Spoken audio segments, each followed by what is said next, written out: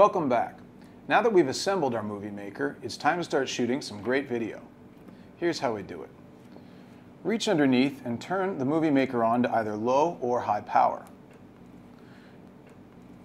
Now, using the remote or the D-pad, you can choose one of eight different speeds by pressing up or down on the dial.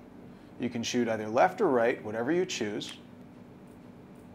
And once you're ready, you can start taking great slide shots or time-lapse photography, videography. The world is yours. Enjoy.